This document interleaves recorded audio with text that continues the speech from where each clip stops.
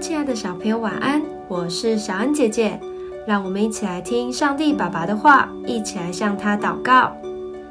诗篇一百三十三篇一到三节，看哪，兄弟和睦同居是何等的善，何等的美！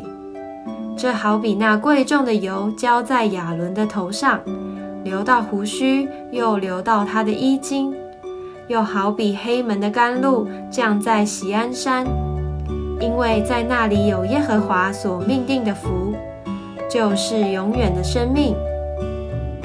今天的经文说，神喜爱我们和别人和睦相处，甚至将这形容成一幅很美的画面，就像看到一对有爱的兄弟和谐，没有争吵的玩耍，我们会说真好。真是令人羡慕的手足之情啊！